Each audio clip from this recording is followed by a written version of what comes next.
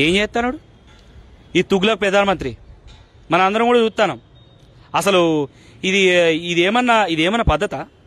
ఇట్లనే చేస్తారా మీరు అట్లా చేస్తూ ఊరుకుంటారా మీరు?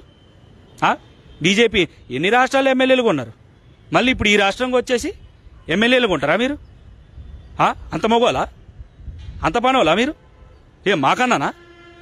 అంటే కొంచెం ఈ విధంగా ఆయన ఈ విధంగా కొంచెం ఎవరికైనా కౌంటర్లు వేసి మాట కూడా కొంచెం సరళంగా కాకుండా కొంచెం గట్టిగా కొంచెం గట్టిగానే మాట్లాడతారు. ఇంకోటి ఏంటంటే కేసీఆర్ గారిలో మనం బాగా అబ్జర్వ్ చేసేది ఏంటంటే జనాలతో చాలా బాగా ఇంటరాక్ట్ అయిపోతారు ఆయన.